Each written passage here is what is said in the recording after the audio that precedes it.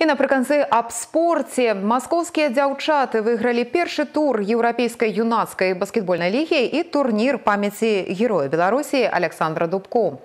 У рамках міжнародных спаборніцтваў, якія прымаў абласны цэнтр, не аказалася роўных расійскім баскетбалісткам 2003-2004 гадоў нараджэння. Нагадаем, спаборніцтвы юных баскетбалістак сабралі 8 каманд з Беларусі, Расіі, Украіны, Люксембурга, Чэхіі і Славакіі. Нашу краіну прадставілі дружыны мінска і гродна.